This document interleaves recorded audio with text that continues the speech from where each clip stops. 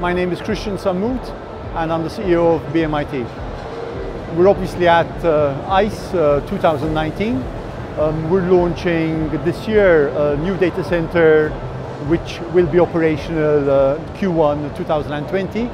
We're also launching a new range of managed services, including a new backup solution for our customers.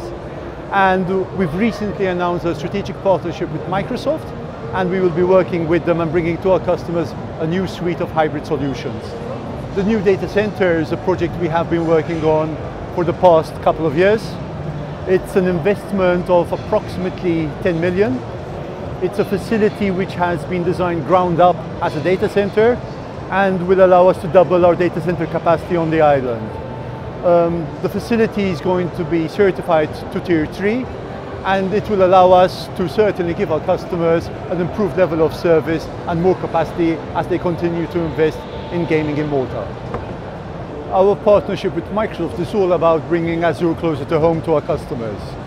Um, we have been working in the cloud area for the past few years and more recently the strategic partnership has allowed us to bring the new technologies based on Microsoft technologies and others of course in terms of bringing hybrid solutions to our customers which will help them deploy their services and solutions on such environments.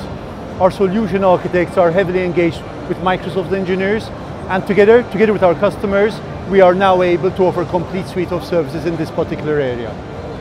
Multi-Cloud Connect is a service which we launched last year and it allows our customers direct access to some of the world's leading cloud providers.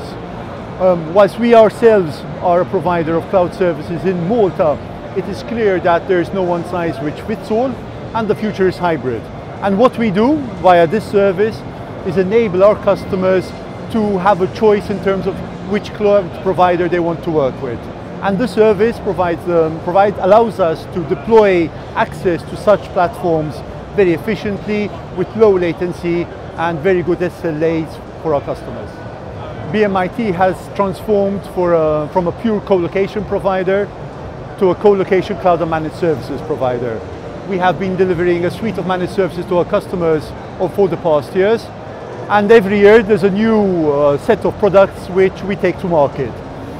This year we are launching a, a, backup service and this allows our customers to back up their servers, the desktops or any environment they have wherever they may need in the cloud or actually within our own facilities. Malta is clearly a location of, of focus for us. It is where we actually operate our major facilities and offer our services to customers.